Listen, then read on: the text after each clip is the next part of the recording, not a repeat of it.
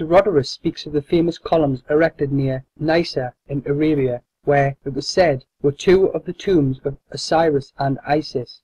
On one was this inscription: "I am Isis, queen of this country. I was instructed by Mercury. No one can destroy the laws which I have established. I am the eldest daughter of Saturn, most ancient of the gods. I am the wife and sister of Osiris, the king. I first made known to mortals the use of wheat. I am the mother of Horus, the king. In my honor was the city of Bubastes built. Rejoice, O Egypt, rejoice, land that gave me birth." And on the other was this: "I am Osiris, the king, who led my armies into all parts of the world, to the most thickly inhabited countries of India, the North, the Danube, and the ocean. I am the eldest son of Saturn. I was born of the brilliant and magnificent egg, and my substance is of the same nature as that which composes light.